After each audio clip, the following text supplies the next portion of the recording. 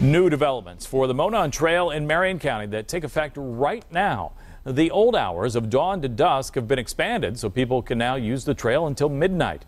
However, not everyone thinks it's a great idea. Some are wondering if the change could lead to more public safety problems in the Circle City. RTV6 reporter Drew Smith is live in Broad Ripple. Drew?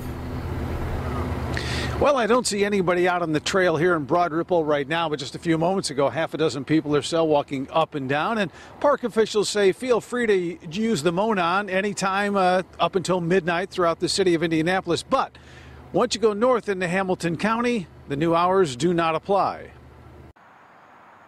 It's right about 7 o'clock on the Monon Trail in Carmel tonight, and with sunset at 7:36, these folks have got about 45 minutes or so before dusk. That's when the Monon closes. But across the street in Marion County, the trail is open until midnight now, and that's confusing for people like Samantha Holdgrafer. When I come, I go both ways. So somebody using the trail in Marion County at 11 p.m. is fine, but cross into Hamilton County and now you're technically violating the ordinance.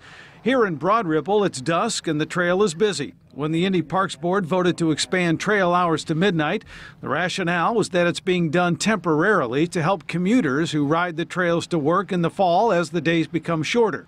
Board member Joseph Wins said he is concerned about safety for people who live near the trail, that this could lead to more crime. However, even though we live here, safety isn't a huge concern for us, even though there has been some crime and, and other things like that. But I mean, we feel pretty safe in the neighborhood. Still, most agree that added security, such as more police and lighting, would help. If you're going to keep it open longer, I would like to see lights come up or maybe some other things like that. The fact that it's not lighted, I wouldn't come without my dog. Yeah. Because she would protect me.